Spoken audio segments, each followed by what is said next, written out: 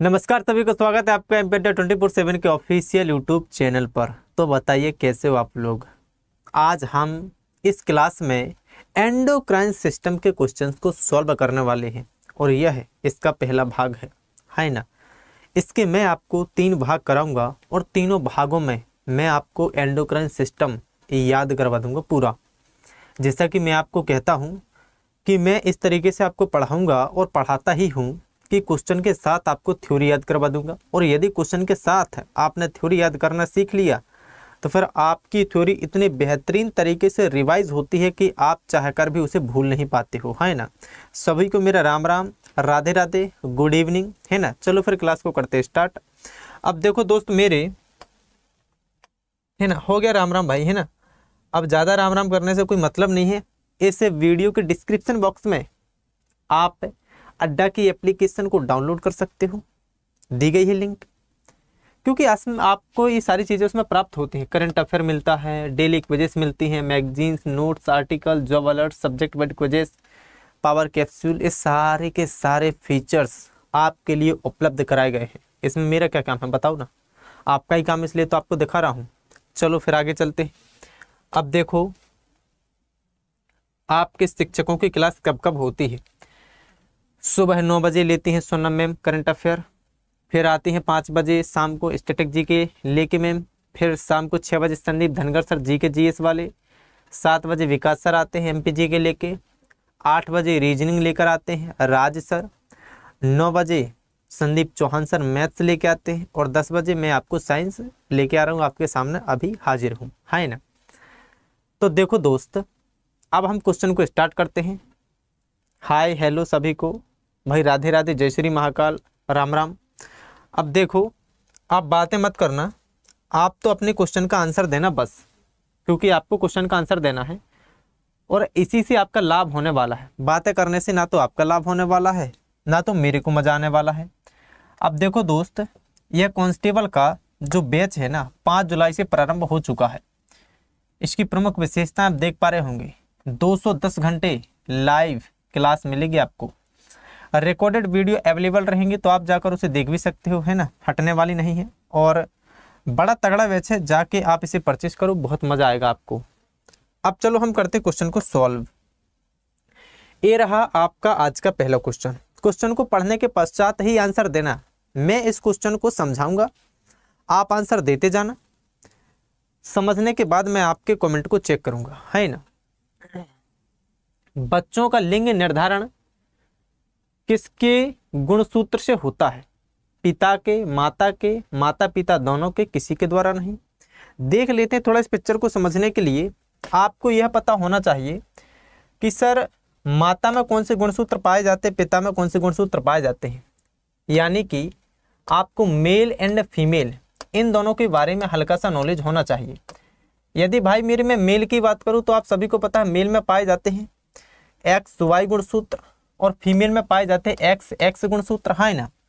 अब देखो दोस्त, होता क्या है? होता यह है कि जब मेल का वाई क्रोमोजोम यानी कि वाई गुणसूत्र फीमेल के दोनों एक्स में से किसी एक भी एक्स गुणसूत्र के साथ जुड़ जाता है। जब मेल का वाई गुणसूत्र फीमेल के दोनों एक्स में से किसी एक एक्स के साथ जुड़ जाता है तो वहाँ पर पैदा होते हैं लड़के। कौन पैदा होते हैं? लड़के पैदा होते हैं। अब यदि मेल का एक्स क्रोमोजोम फीमेल के दोनों एक्स में से किसी एक एक्स के साथ जुड़ जाए तो पैदा होती हैं लड़कियाँ। कौन? लड़कियाँ। अब मैंने आपसे कहा कि सर, आप यह जो लड़का और लड़की, इन दो शब्द का इस्तेमाल करते हो तो ये लड़का और लड़की वास्तव में है क्या? यह लड़का और लड़की वास्तव में दोनों के दोनों सेक्स कहलाते हैं। अब आप कहोगे, सर, सेक्स किया जाता है, कहलाते क्या है? भाई, मेरे सेक्स को हिंदी में लिंग कहा जाता है। और हमारे कई सारे ऐसे मित्र हैं जो कि इस लिंग को पहनने से समझते हैं शिष्ण समझते हैं। शिष्ण संभोग करने के समय काम आता है, जो कि पुरुषों में पाया जाता है। लिंग का मतलब ये होता है कि आप पुरुष हो कि महिला हो। जैसे आपने सुना होगा, पुल्लिंग। जिसमें पुरुष आते हैं, स्त्रीलिंग, जिसमें महिलाएँ आती हैं, है ना? तो लिंग दो प्रकार के होते हैं। आपने देखा भी होगा, जब आप टिकट को बुक करते हो कहीं पर भी जाने के लिए तो एक ऑप्शन आता है लिंग, और नीचे लिखा होता है मेल एंड फीमेल। तो फिर आप उस पर सिलेक्ट करते हो कि हम मेल हैं कि फीमेल है हाँ ना? ठीक है? अब देखो, मैंने आपसे कहा कि इन दोनों के गुणसूत्र में से आप इतनी बात तो समझ गए हो और कमेंट में आंसर देने भी लगे हो कि सही आंसर क्या है। अब मैंने आपसे कहा कि लड़का और लड़की।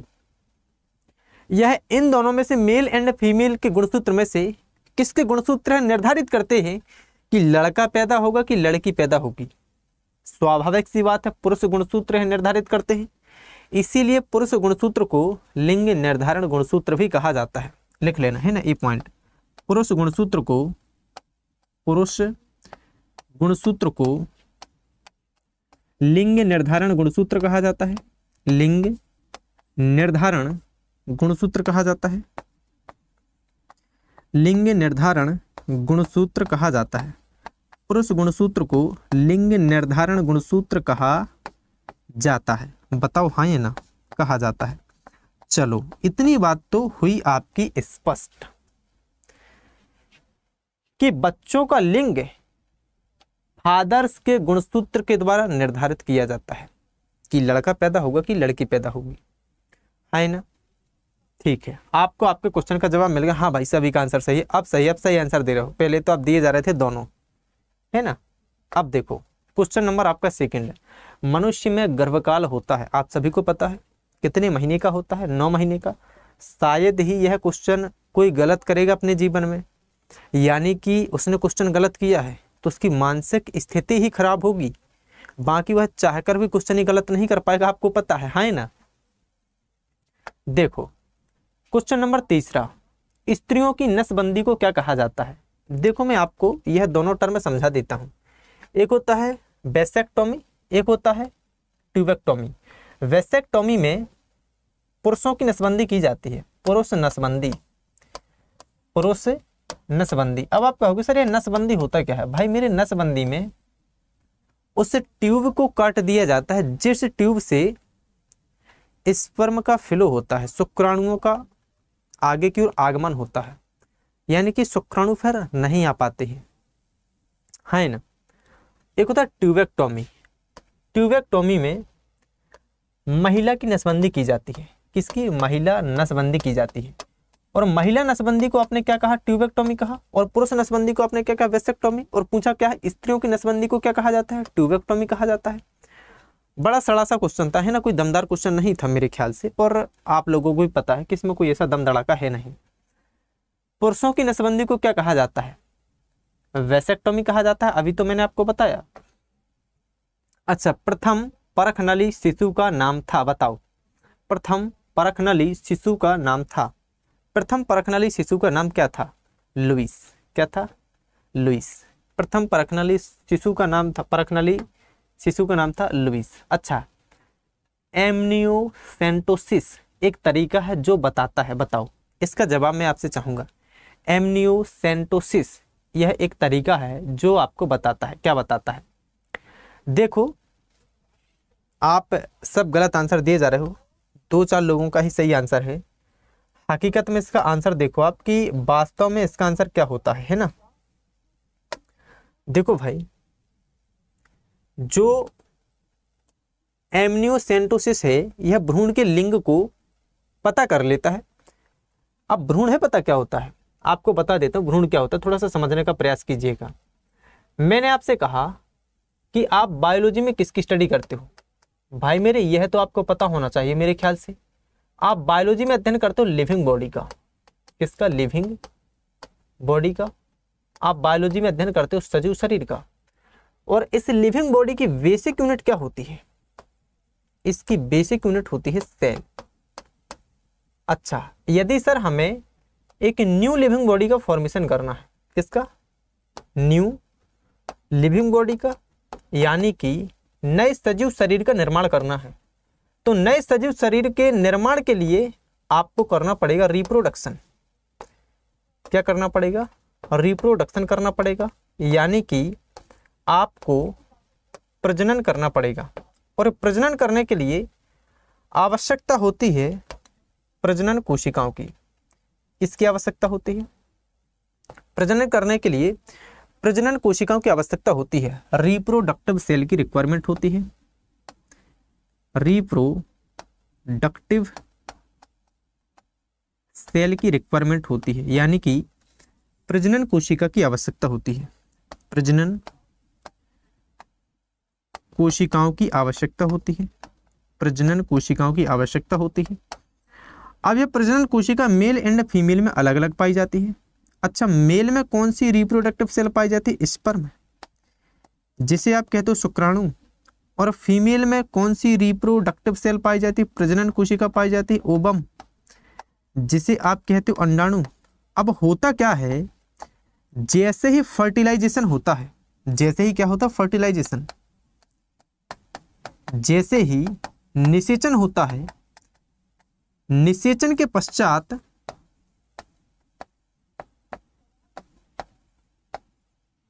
अच्छा पश्चात होने के पहले मैं पहले की बात करूँगा। निषेचन क्या है? स्पर्म और ओबम का मिलना, यह दोनों मिल जाते हैं। यदि स्पर्म और ओबम आपस में मिल गए तो यह दोनों मिलकर किसका फॉर्मेशन करते हैं? जाइगोट का। किसका? जाइगोट का। युग मनज का निर्माण करते हैं। युग मनज का निर्माण करते हैं।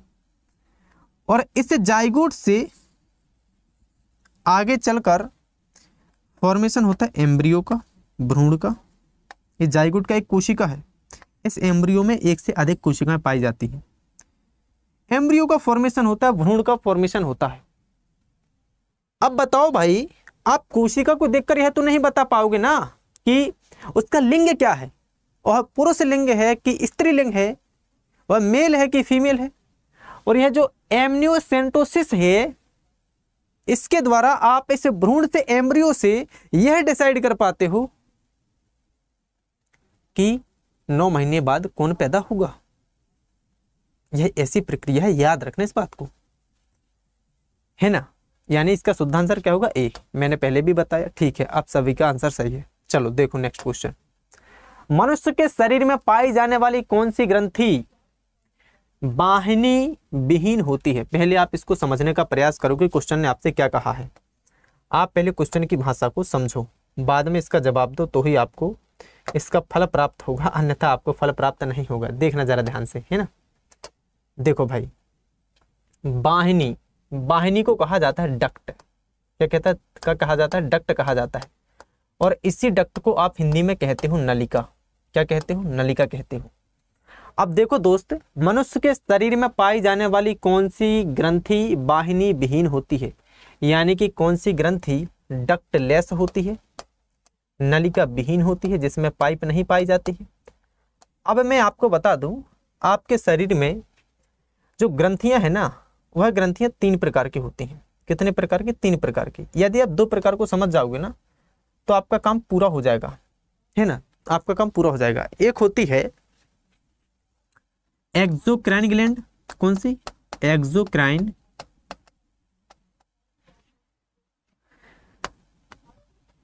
एक्सोक्राइन ग्लैंड और इसी एक्सोक्राइन ग्लैंड को आप कहते हो बही स्त्रावी ग्रंथि। क्या कहते हो? बहिस्त्रावी ग्रंथि कहते हो।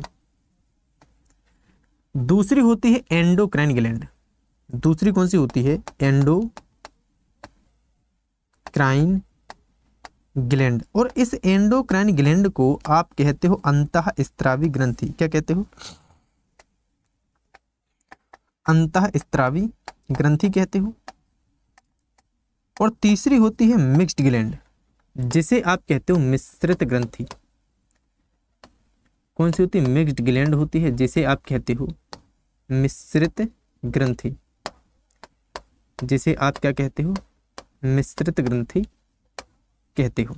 कहते हो, नहीं कहते हो कहते हो। ये तीन होती हैं।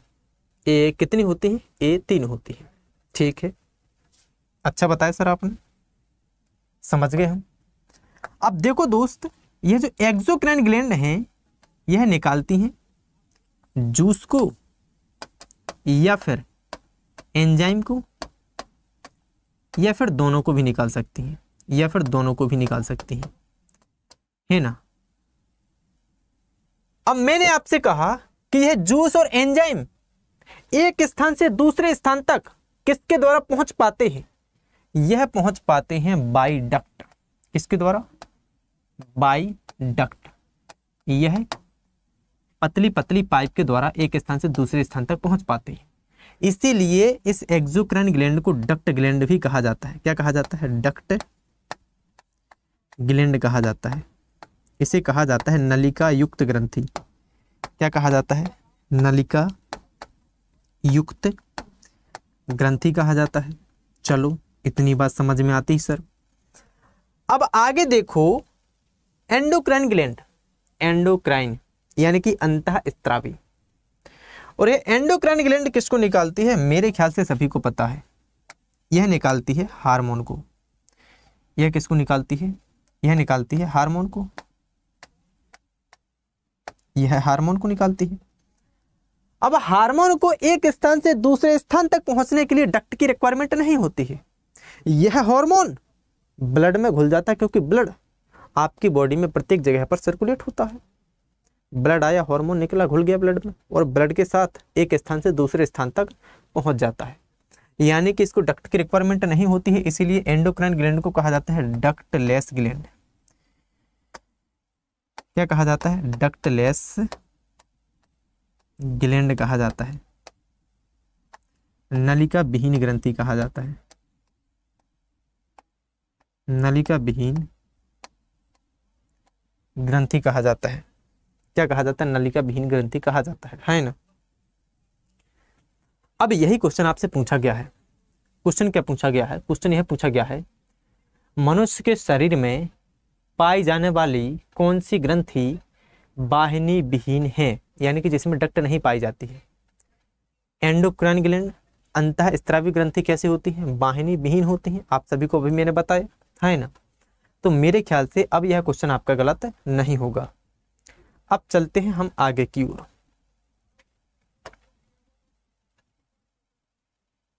बताओ। बाहिनी विहीन ग्रंथि के स्त्रावण को कहते हैं।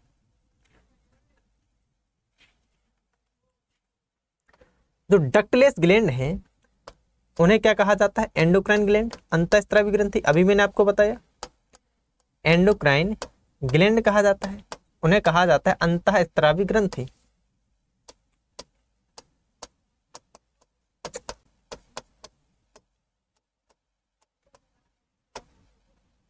है ना? और यह अंत स्त्रावी ग्रंथि किसको निकालते हैं? हार्मोन को निकालते हैं। तो इसका आंसर क्या हो जाएगा? हार्मोन्स लेकिन हार्मोन के बारे में आप तीन चार क्वेश्चन याद रख लो और आपसे पूछे जाते हैं। पहला क्वेश्चन यह पूछा जाता है कि हार्मोन किसके बने होते हैं? यह बने होते हैं प्रोटीन के। किसके प्रोटीन के? यानी कि हार्मोन कैसी संरचना होती है?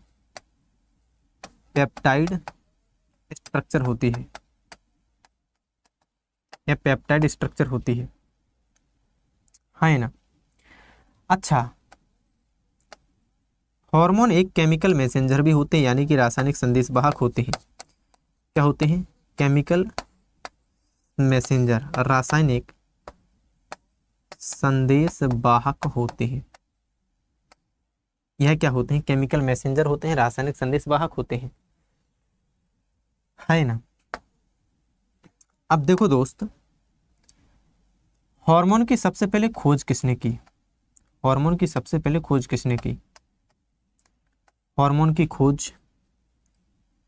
ई एच स्टारलिंग ने की। किसने की? ई एच स्टारलिंग ने और ई एच स्टारलिंग ने सबसे पहले कौन से हार्मोन को खोजा? सबसे पहले कौन से हार्मोन को खोजा? सबसे पहले कौन से हार्मोन को खोजा। ई एच स्टार्लिंग ने सबसे पहले सेक्रेटिन नामक हार्मोन को खोजा। कौन से हार्मोन को? सेक्रेटिन हार्मोन को। है ना? इस बात को याद रखिएगा। इसने सबसे पहले सेक्रेटिन हार्मोन को खोजा। तो सबसे पहले कौन सा हार्मोन खोजा गया था? सेक्रेटिन हार्मोन खोजा गया था। किसने खोजा था? ई एच स्टार्लिंग ने खोजा था। हार्मोन किसके बने होते? प्रोटीन के। कैसे? स्ट्रक्चर होते हैं पेप्टाइड स्ट्रक्चर होते है, रासायनिक संदेश वाहक भी होते हैं, है ना? अच्छा हार्मोन शब्द का अर्थ क्या होता है? यदि यह पूछ लेगा तो फिर दिक्कत में खड़े हो जाओगे। हार्मोन शब्द का अर्थ होता है टू एक्साइट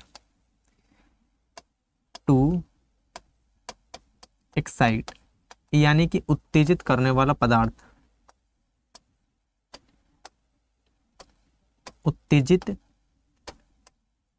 करने वाला पदार्थ।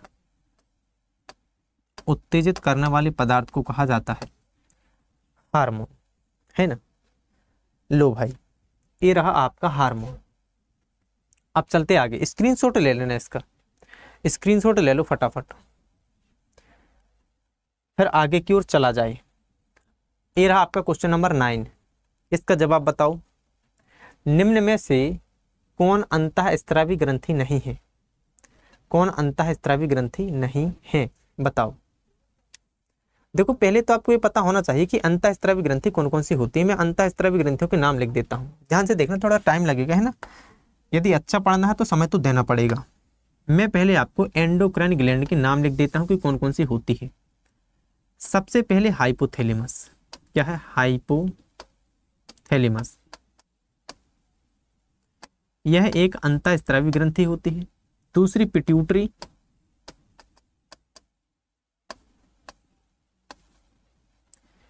तीसरी पिट्यूटरी के बाद तीसरी होती pineal body gland pineal body gland जिसे आप कहते हो पीनियल काय ग्रंथि। चौथी होती है पीनियल बॉडी ग्लैंड के बाद थायराइड ग्लैंड कौन सी? थायराइड ग्लैंड पांचवी होती है पैराथायरॉइड ग्लैंड पांचवी कौन सी होती है? पैरा, थायराइड, ग्लैंड होती है। छठवीं होती है, छठवीं होती पैराथायरॉइड के बाद, नीचे जैसे आओगे आप गले से तो आपको मिलेगी एड्रीनल ग्लैंड। कौन सी? एड्रीनल ग्लैंड एड्रिनल ग्लैंड के बाद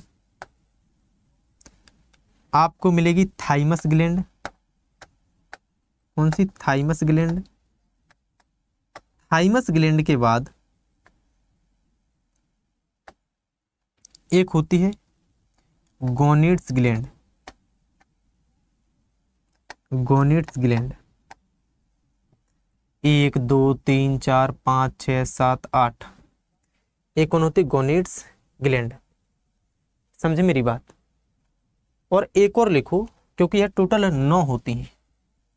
एक और लिखो पेन क्रिएटिक ग्लैंड अग्नाशय ग्रंथि पेन क्रिएटिक ग्लैंड जिसे कहा जाता है अग्नाशय ग्रंथि है ना? और याद रखना, यह अग्नाशय ग्रंथि एक मिश्रित ग्रंथि भी होती है। कौन सी? मिश्रित ग्रंथि। हमारे शरीर में एकमात्र पाई जाने वाली मिश्रित ग्रंथि का नाम बताइए, मिक्स्ड ग्लैंड का नाम बताइए, पेनक्रिएटिक ग्लैंड। और यह पेनक्रिएटिक ग्लैंड, यह एक एंडोक्राइन ग्लैंड भी होती है अंतःस्त्रावी ग्रंथि भी होती है। चलो, आप इतना काम कर दोगे प्रेम पूर्वक अब आप बताओ, निम्न में से अंतःस्त्रावी ग्रंथि नहीं है, एंडोक्राइन ग्लैंड कौन सी नहीं है? देखो, एड्रीनल तो है पिट्यूटरी भी है थायराइड भी है, यकृत नहीं है, यानी कि ये आपका शुद्ध आंसर हो जाएगा।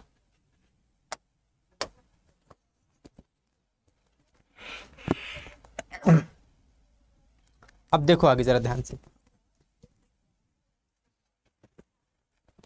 नेक्स्ट क्वेश्चन को देखो।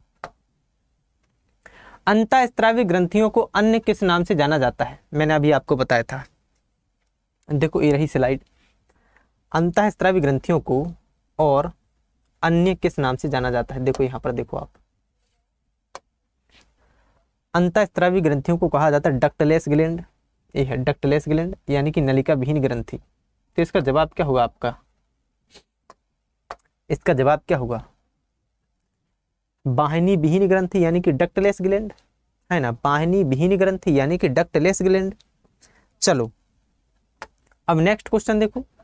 निम्नलिखित में से कौन एक ग्रंथि नहीं है? बताओ, कौन एक ग्रंथि नहीं है? पता है, आप एंडोक्राइन सिस्टम को पढ़ते हो। आप किसको पढ़ते हो? एंडोक्राइन सिस्टम को। अंत स्त्रावी तंत्र को आप पढ़ते हो, लेकिन आप ग्रंथियों को नहीं पहचान पाते हो। अच्छा मैंने आपसे कहा कि चार में से कौन ग्रंथि नहीं है? भाई स्टोमक ग्रंथि नहीं है। है ना? ऐसा ही आंसर है। आप कहोगे, सर, जठर तो ग्रंथि होती है। देखो, आपने पेट नाम सुना होगा। क्या नाम सुना होगा? पेट। ध्यान से सुना पहले मेरी बात को। आपने कौन सा नाम सुना है? पेट। पेट के बाद आपने उदर का नाम सुना होगा। और इसी उदर को कहा जाता है जठर। यानी कि पेट को कहा जाता है जठर। इसे आप इंग्लिश में कहते हो स्टोमक। क्या कहते हो? स्टोमक कहती हो। है ना? अब सुनो मेरी बात। इस पेट में पाई जाती है ग्लैंड, जिसे कहा जाता है जठर ग्रंथि। क्या कहा जाता है? जठर ग्रंथि। और इस जठर ग्रंथि को आप कहते हो गैस्ट्रिक ग्लैंड। क्या कहते हो? Gastric gland. इसे ही कहते हो गैस्ट्रिक ग्लैंड। इसे कहते हो जठर ग्रंथि। जठर में पाई जाती है जठर ग्रंथि। जठर अपने आप में ग्रंथि नहीं है। समझी मेरी बात? जठर अपने आप में ग्रंथि नहीं है। तो आपका शुद्ध आंसर क्या होगा? जठर ग्रंथि। अच्छा इसे जठर ग्रंथि से क्या निकलता है? जठर रस निकलता है। कौन सा? जठर रस। यानी कि गैस्ट्रिक जूस क्या निकलता है? गैस्ट्रिक जूस निकलता है। है ना? गैस्ट्रिक जूस निकलता है। अब देखो भाई, इस गैस्ट्रिक जूस में क्या क्या पाया जाता है? इसमें पाया जाता है पेप्सिन। इसमें पाया जाता है रेनिन। और इसमें पाया जाता है H C L hydrochloric acid pepsin rennin और एच सी एल ये तीनों इसमें मौजूद होते हैं। आंसर क्या होगा इसका? जठर यानी कि स्टोमक मानव शरीर की किस ग्रंथि को मास्टर ग्रंथि कहा जाता है, बताओ। मास्टर ग्रंथि किसे कहा जाता है? देखो, मानव शरीर की जो मास्टर ग्रंथि है, वह कहलाती है पीयूष ग्रंथि, यानी कि पिट्यूटरी ग्लैंड लेकिन अच्छा मास्टर ऑफ़ मास्टर किसे कहा जाता है, बताओ। मास्टर का भी मास्टर किसे कहा जाता है? मास्टर ऑफ़ मास्टर किसे कहा जाता है? और उसी को कहा जाता है सुपर मास्टर क्या कहा जाता है? सुपर मास्टर भी कहा जाता है। मास्टर ऑफ़ मास्टर या फिर सुपर मास्टर कहा जाता है? हाइपोथैलेमस को। किसे कहा जाता है? हाइपोथैलेमस को कहा जाता है। हाइपोथैलेमस को। चलो ठीक है। नेक्स्ट क्वेश्चन मनुष्य के शरीर की सबसे छोटी ग्रंथि है। अब देखो, मैं यहाँ पर आपको चार तरीके के क्वेश्चन बताऊँगा। मैंने पिछली क्लास में भी बताए थे शायद। मैं आपसे चार तरीके के क्वेश्चन बताऊँगा। मैंने आपसे कहा स्मॉलेस्ट एंडोक्राइन ग्लैंड कौन सी होती है? यानी कि सबसे छोटी अंत स्त्रावी ग्रंथि। सबसे छोटी अंत स्त्रावी ग्रंथि। फिर मैंने आपको दूसरा क्वेश्चन दिया। स्मॉलेस्ट अभी चलो एंडोक्राइन ग्लैंड के बारे में बात कर लेते हैं स्मॉलेस्ट हटाओ लार्जेस्ट की बात कर लेते मैंने कहा लार्जेस्ट क्या कहा? लार्जेस्ट एंडोक्राइन ग्लैंड कौन सी होती है? जवाब देते चला साथ में। यानी कि सबसे बड़ी अंत स्त्रावी ग्रंथि कौन सी होती है? सबसे बड़ी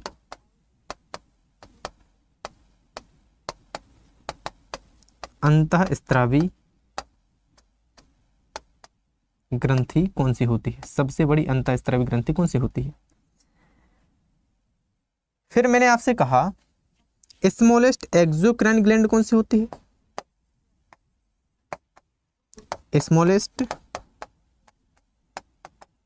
एक्सोक्राइन ग्लैंड कौन सी होती है? यानी कि सबसे छोटी बही स्त्रावी ग्रंथि। सबसे छोटी बही स्त्रावी ग्रंथि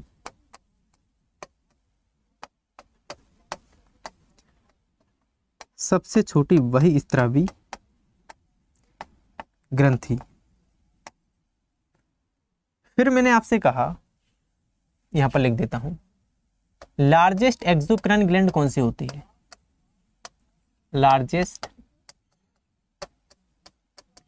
एक्सोक्राइन ग्लैंड कौन सी होती है? यानी कि सबसे बड़ी बहिस्त्रावी ग्रंथि सबसे बड़ी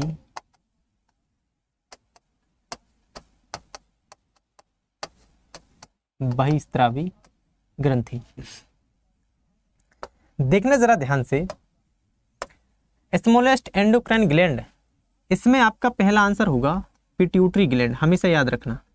इसमें आपका फ़र्स्ट आंसर क्या होगा? पिट्यूटरी ग्लैंड पिट्यूटरी नहीं सॉरी मैं यहाँ पर माफ़ी चाहूँगा pineal body gland pineal body gland अब यदि ऑप्शन में पीनियल बॉडी ग्लैंड नहीं है तो फिर आपका सेकंड आंसर होगा पिट्यूटरी ग्लैंड पिट्यूटरी ग्लैंड समझे मेरी बात? पीयूष ग्रंथि. तो अब आप इस क्वेश्चन को देखो, मनुष्य के शरीर की सबसे छोटी ग्रंथि है। है ना? यहाँ पर पीनियल बॉडी ग्लैंड नहीं है।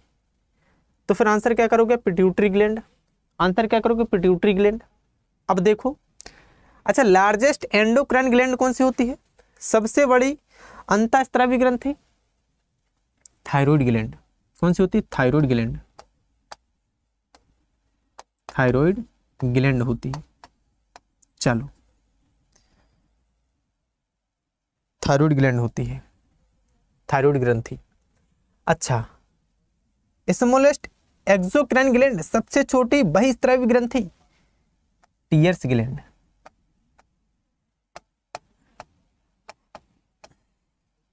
और इसी टीयर्स ग्लैंड को आप कहते हो लेक्राइमल ग्लैंड। क्या कहते हो? लेक्राइमल ग्लैंड कहते हो? लेक्राइमल ग्रंथि कहते हो। लार्जेस्ट एक्सोक्राइन ग्लैंड, सबसे बड़ी बहिस्त्रावी ग्रंथि। आंसर करोगे लीवर, यकृत, यह सबसे बड़ी बहिस्त्रावी ग्रंथि होती है। तो आप इसका स्क्रीनशॉट ले लेना, यह आपके बहुत काम आने वाला है है ना? आप इसका स्क्रीनशॉट ले लीजिएगा, बहुत काम आने वाला है।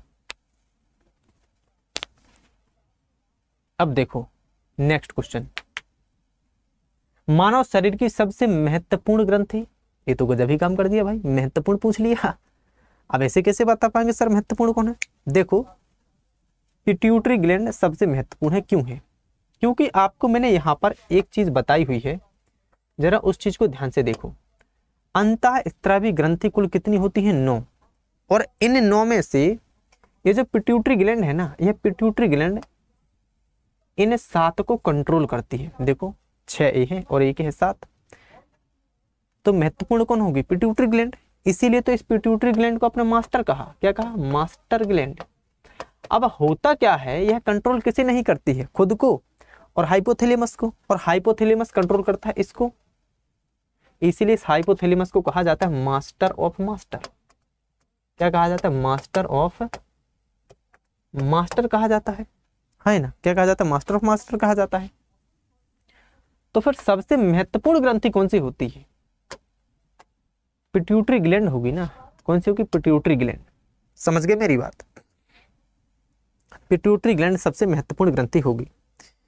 मेरे ख्याल से यहाँ तक कि आपको एक एक बात समझ में आ गई होगी। है ना? अब देखो भाई, आप कांस्टेबल के बैच को परचेस कर सकते हो। यह कांस्टेबल का बैच परसों ही आपका स्टार्ट हुआ है। देख सकते हो यहाँ पर मैंने मेंशन किया हुआ है। ये है। बताया है खैर आपको। परचेज करने के लिए आपको वाई सात सौ इक्यानवे इस कोड का इस्तेमाल करना है। बस और कुछ भी नहीं करना है। अब सर कैसे परचेज करें? तो मैं बता देता हूँ कैसे करें। ये कोई बड़ी बात थोड़ी है। आप सीधा क्रोम को खोल सकते हो यदि चाहो तो। है ना? देखना मैं आपके सामने क्रोम खोल के आपको ये चीज़ बता देता हूँ। देखना। ये मैंने खोला गूगल क्रोम अब मैंने कुछ नहीं किया। मैंने लिखा M P Adda batches. M P Adda two four seven लिखो। यानी कि ट्वेंटी फोर सेवन बैचेस। अब आप करो इसको सर्च है ना? ये आपको यहाँ पर मिल जाए। ये आ गए सारे के सारे बैच। देखो, ये आ गए बैच। एम पी महापैक आ गया, है ना? एम पी प्लस कॉन्स्टेबल आ गया। एम पी एस बी का फाउंडेशन बैच है। Khaki two point zero M P plus S I online live batch है। M P S B group four stenographer का बैच है। तो आप इसको बैच को परचेज कर सकते हो। परचेज करोगे तो बस आपको वाई सात सौ इक्यानवे इस कोड का इस्तेमाल करना है। आपको आपकी फ़ी में डिस्काउंट मिल जाएगा। बाकी मिलते हैं कल। और कल भी हम इस एंडोक्राइन सिस्टम के दूसरे भाग को हल करेंगे। तब तक के लिए राधे राधे, राम राम।